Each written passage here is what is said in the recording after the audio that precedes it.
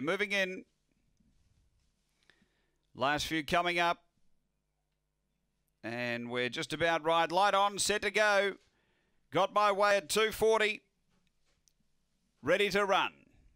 Favourite, the red draw away. Step cleanly got my way. Is going to have some pressure from Long Gully Terry early. They go together. Really pushing hard. Got my way is booting up underneath Long Gully Terry and three out is Victor Norman.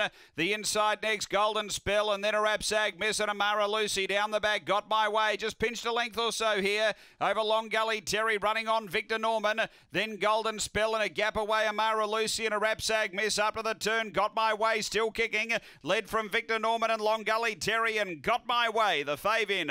Got my way first. Victor Norman second. Long Gully Terry third. Then Golden Spell. Next to Mara Lucy and a Rapsag miss back at the tail end. The time here is around 31 and 10 after race number seven.